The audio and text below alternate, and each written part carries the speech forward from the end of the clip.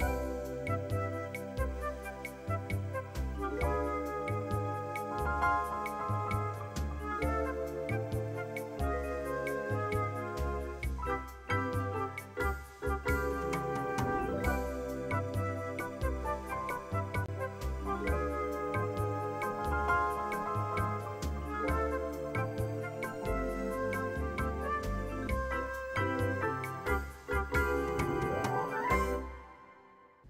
Good morning, KU. I'm Haley McGavick. And I'm Josh Kurlak. Welcome back to the first Tuesday show of the semester.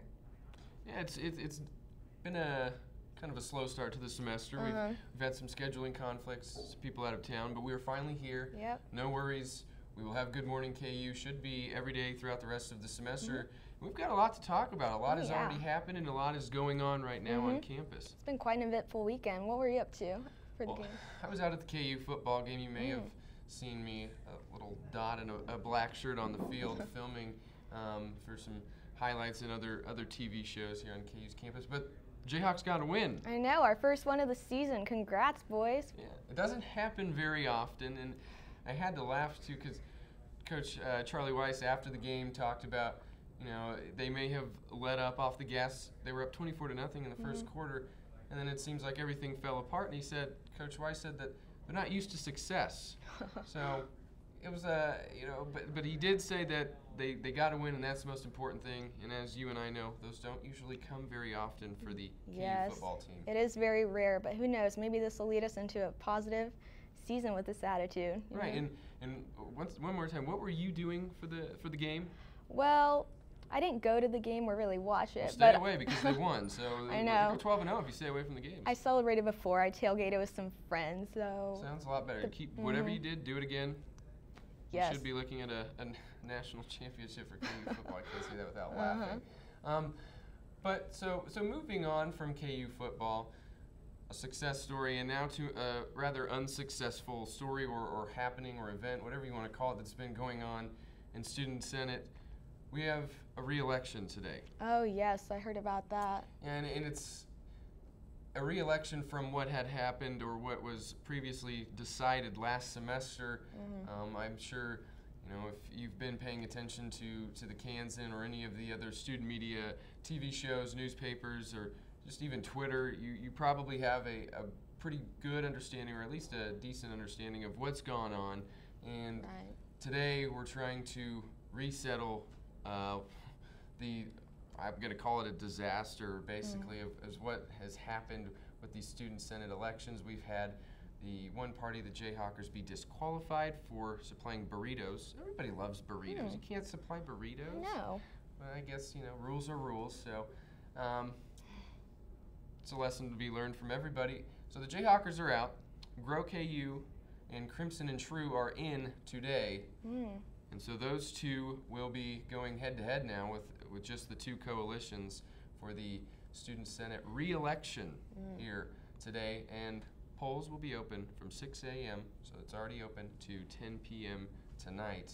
You gonna vote? Do you have a preference? Uh, I'm not sure. I'll have to look into the parties more. But if you're out there and you got some time today and you know about this, feel free to go to the polls, cast your opinion, do whatever, Yeah. get involved. Please, uh, you know, anybody who who wants to make their voice heard, now is the time, um, because I think everybody would love for this to be over with, yes. uh, including myself. So, um, you know, if we could just get a uh, uh, get that all wrapped up, and, and let's get a, a student body president who will be there for more than a few months in office. And it's only the third week of school, and we already have all this political conflict. Right, and uh, and congratulations, or not a congratulations, but you know, props to Emma Halling, who was the vice president from the previous uh, coalition or student body senate, and she's had to come in and serve as the acting student body president. Hmm. So, you know, she was on her way doing other things. They had to bring her back because of all this controversy. Oh. So I'm sure she's also happy to see that we will have a re-election coming up today. Yes. Well, we'll get more into that later. Uh, we've got Josh and Eric coming up, and we're going to take a break. We'll be back with them.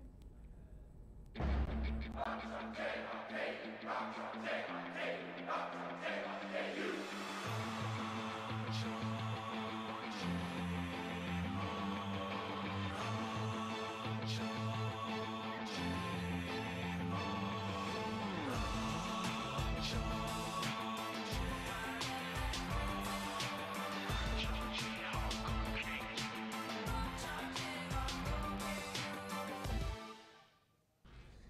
Welcome back. I'm joined here by KU Info's very own and host of the breakdown, Eric Pahls. Eric, thanks for being here. Thanks for having me. It's a pleasure to be here this morning. We got you on late notice, but you came in, and we're gonna try to power through this segment. And you know, a little bit like student senate elections, we also are kind of scrambling a little bit. I just want to get right into it. What was your initial reaction when you heard coming back from the summer break? We get on campus as KU students. What was your reaction when you heard that there's going to be a re-election? Well, I think like many students, I kind of imagined that this was water under the bridge. I imagined this was over. I imagined we were going to move on. We were going to have the um, Senate put together like uh, it ended up last semester. Having said that, when I heard that they were coming back with another appeal, and I, uh, we got closer to the appeal day and to the decision, it wasn't uh, having followed that process a huge surprise um, that it got taken down. I mean, there were think it was, I can't remember off the top of my head, 70% that voted for Jayhawkers, that then those votes were voided. Right. So it, there was a provocative argument for why mm-hmm. those 70% should be recast. Right. So that wasn't a huge surprise. I guess I was just surprised that people were still fighting about it when I came back to Lawrence. As was I, and you know, you, that's, you point out a good point there that you know, a lot of the, the votes from the previous uh, initial rea- uh, election were void because the Jayhawkers received most of those votes. Right. And now, I want to get your opinion. The Jayhawkers are now promoting or, or kind of backing the uh, tri- Crimson and True. Correct. Uh, coalition. So, what are your thoughts on that? Them kind of taking a side, even though they're not in the fight. Well, that's not a huge surprise either. Um, there is a if you ever have a Jayhawker on the show, you could ask what they have to gain from doing this because this was uh, a, a, decision decided based on arguments uh, that were made by former Jayhawkers. I mean, still Jayhawkers, but they don't technically exist anymore. Uh, but I have seen on Facebook some Jayhawker past candidates have endorsed Grow KU as well. Um, but it would be an interesting question to pose to one of the Jayhawkers that endorsed Crimson and True and that argued in this case, what do they have to gain? They're not able to be in Student Senate for a year, um, they, so they can't get any of those um, open Senate spots right. from a different administration. So is it purely vindictive? Is it purely revenge? Right. What is it? Yeah, and I think that's a question that everybody would love to know the answer to, and I guess you know we'll just have to ask them right. here in the future. Right. Um, but do you have any predictions, any expectations for how the reelection will go today? I don't. Uh, the polls close at 4 p.m. tomorrow, and I think the um, if I were a betting man, I would okay. I would probably put money on Grow KU just because they've had a larger organization. Right. Um, their organization stayed together after the election just because they got put into Senate, so they kept going. Whereas Crimson and True in the last couple weeks has kind of had to try to scrap what they have left together and go. Having said that, the Jayhawkers are, which got 70% of the vote, meaning they have a decent amount of influence, mm-hmm. are out voting for Crimson and True and pushing that. So it's it's certainly not uh, one of those where you can pick it right at the beginning. Like I said, if I was betting, I'd probably put my money on Grow KU, but I would not be surprised at all with either outcome. So we may see an upset. We may see an upset.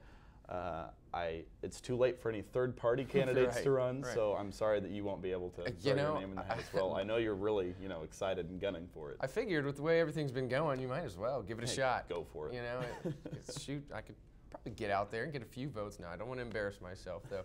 But all right, so we talked a little bit before you came on set. You're the host of the Breakdown. Yes. Um, you haven't had a show this semester yet. Not yet. But you're looking forward to getting it back into the swing of things. And when will the first show for that be this semester? First show will be Friday, September 19th okay. at noon, and it'll be every Friday at noon after that. And we're going to have a little bit of a new look, uh, some new segments, some new guests. So we're looking forward to uh, how this semester is going to shape up. Should have plenty to talk about too with the re-election as well. Yeah, it'll be. Uh, we'll have quite a bit of catching up to do exactly. when we get back. We've tried to keep on our Twitter, which I'll put in a plug, breakdown KUJH. Sure. Uh, we've been trying to keep people updated on that, but it has been um, quite a project to even follow it ourselves. Right. So Friday, you have a time set for that? Friday at noon. Okay. So be sure to tune in and get caught up on all the latest Student Senate news anything else that you guys will be bringing to the table as well. Well, Eric, that's all the time we have, but thank you for coming on. Appreciate you being here. Happy to be here. All right. We'll be right back with the daily news. Okay,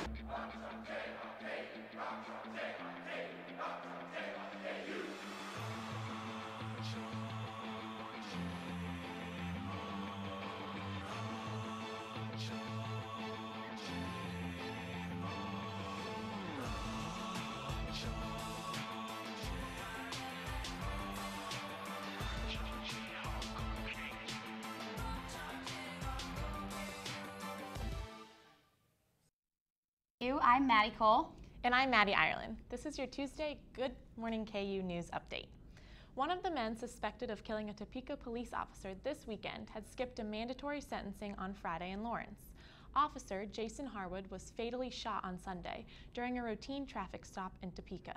Police have arrested two 30 year old suspects, including a man who was to be sentenced on Friday for a DUI and possession of marijuana.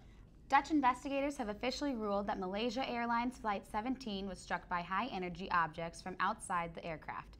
The Boeing 777 was en route from Amsterdam to Kuala Lumpur in July when it went down over Ukraine. A full report can be expected within a year of the crash. A video of Ray Rice actually hitting his girlfriend has cost the former All Pro running back his job. The NFL has suspended Rice for the first two games of the season, but after viewing the new video footage, the Baltimore Ravens released Rice immediately. The NFL has been much criticized for its light handed sentence. Anheuser-Busch flew in more than 1,000 people to Cre- Crested Butte, Colorado this weekend to film a commercial.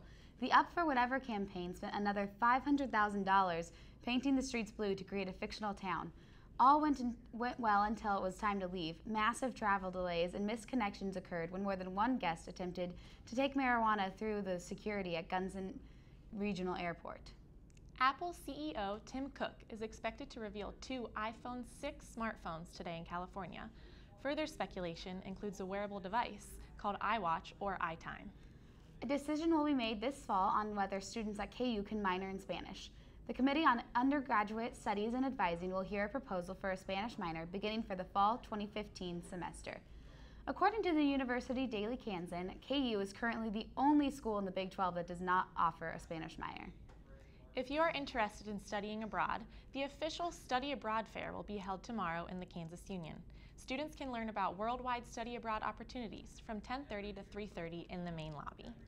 Well, that, that wraps it up for today. Thanks for watching, and be sure to tune in tomorrow at 10.